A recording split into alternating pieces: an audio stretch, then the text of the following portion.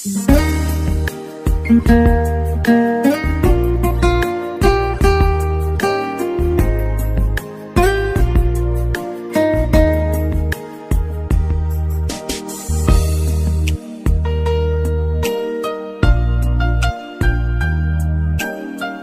vụ, tin và sống xin kính chào quý vị.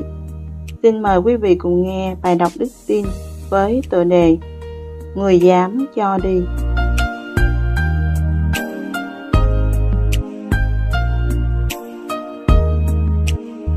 Những năm gần đây, chúng ta thường nói nhiều đến khởi nghiệp. Các startup thường rất được quan tâm chú ý. Đặc biệt, startup không chỉ dành riêng cho giới trẻ. Khái niệm này giờ đã rộng hơn, dành cho những ai muốn khởi sự một dự định mới. Tuy nhiên, khi bắt đầu một khởi đầu mới, hãy luôn nhớ rằng có cho đi, bạn mới có thể được nhận về có một câu chuyện về một chàng trai trẻ muốn khởi sự kinh doanh chàng trai muốn mở một cửa hàng trên con phố nơi mình sinh sống anh đưa ý định này ra hỏi ý kiến bố anh. Một người từng trải trên thương trường nay đã lui về nghỉ ngơi. Con muốn mở một cửa hàng kinh doanh ở đây, liệu có thể được không?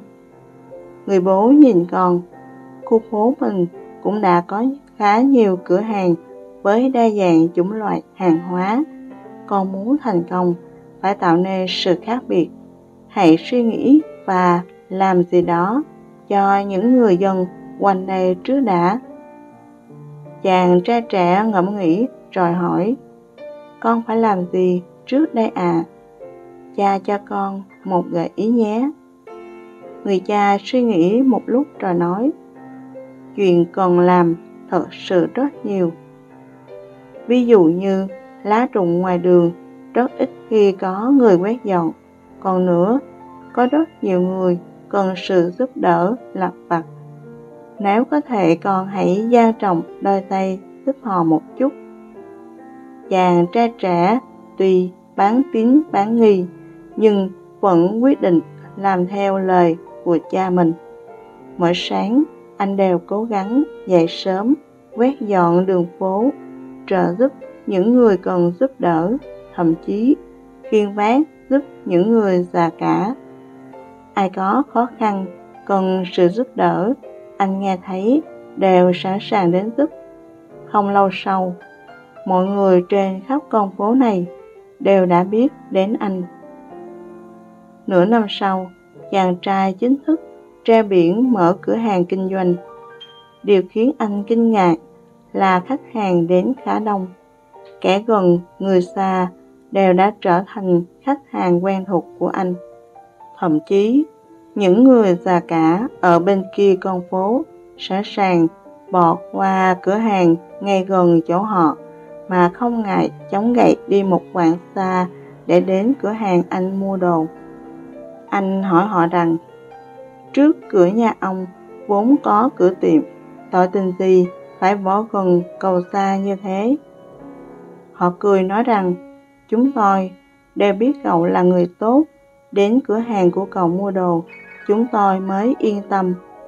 Về sau, anh còn giao hàng đến tận nhà khách hàng. Ngoài ra, anh cũng nhiệt tình tham gia các hoạt động công tác xã hội từ thiện. Biết được ai đang gặp khó khăn, anh cũng đều sẵn lòng giang tay giúp đỡ. Việc làm ăn càng ngày càng tốt lên.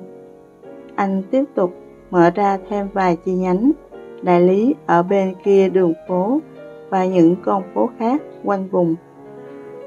Cho đi mới được nhận lại là bài học đầu tiên cho những ai bắt đầu bước vào kinh doanh. Học cách cho đi, chúng ta sẽ nhận lại được nhiều hơn thế. Khi khởi sự kinh doanh, chúng ta cũng đã bắt đầu một hình thức cho và nhận khác. Cho đi hàng hóa dịch vụ và nhận về giá trị bằng tiền tương ứng. Trong cuốn sách Người dám cho đi của hai tác giả Bob Burns và John Davidman viết về những câu chuyện ngắn là những bài học rút ra trong những hoạt động kinh doanh. Câu chuyện kể về anh chàng Joe, một anh chàng đầy tham vọng nhưng cố gắng mãi vẫn không thể thành công. Anh tìm đến gặp Binda, một nhà tư vấn huyền thoại, và ông đã không ngần ngại chia sẻ bí quyết của mình giúp anh, còn giúp kết nối anh với những người dám cho đi để nghe những bí quyết thành công từ những doanh nhân thành đạt này. Trong số đó, ông Ernesto, người dám cho đi đầu tiên, Joe gặp dạy anh rằng giá trị thực của bạn được quyết định bởi những giá trị mà bạn cho đi, chứ không phải những giá trị mà bạn nhận được. Còn bà Debra, người dám cho đi thứ tư mà Joe gặp được cho rằng món quà quý nhất mà bạn có thể cho người khác chính là bạn thân bạn. Debra là một nhà môi giới nhà đất thành công. Bà nhận thức rằng những điều tốt đẹp nhất là cách chăm sóc và phục vụ người khác.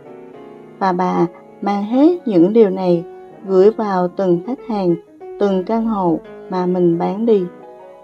Không chỉ cho đi là hết, bởi sau quá trình học hỏi, thực hành, chính Joe nhận ra rằng chìa khóa của việc cho đi một cách hiệu quả chính là luôn sẵn sàng nhận lấy. Khi bạn cho đi, cũng đồng nghĩa với việc bạn luôn luôn có thể nhận lại một hành động cho đi từ một người khác đó là quy luật tự nhiên. Có cho đi mới được nhận lại. Người không cố chiếm lợi ích thì cuộc sống sẽ không bao giờ để họ bị thiệt thòi. Lời đức chúa trời dạy hãy nhớ rằng ai gieo ít thì gặt ít ai gieo nhiều thì gặt nhiều Đức Chúa Trời yêu mến người dân hiến cách vui lòng. Đức Chúa Trời có quyền ban cho anh em ân điển sung mãn để đáp ứng mọi nhu cầu của anh em, lại còn có dư dật để làm mọi việc lành, như có chép rằng, người ban phát rộng rãi, người giúp đỡ kẻ nghèo khó, sự công chính của người tồn tại mãi mãi. Cô Trinh Tô Nhi, chương 9 từ câu 6 đến câu 9, muốn thật hết lòng.